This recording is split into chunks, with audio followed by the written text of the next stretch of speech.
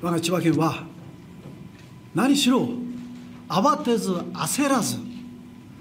慎重にそして何よりも県民の皆様のご理解ご協力を得るんだとそのような思いでずっと対応してまいりました。第一段階として文化的健康的な生活の維持に必要な施設図書館博物館等これを解除してまいりたいとそのように思っております。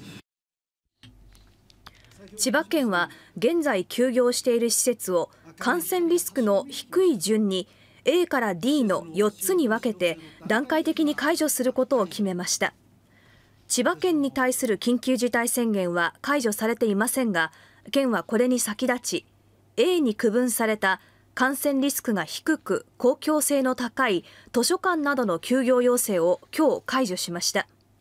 学校や大学は次の段階の B 区分に含まれていてクラスターが発生したスポーツクラブやライブハウスなどは感染リスクが一番高い D 区分となっています。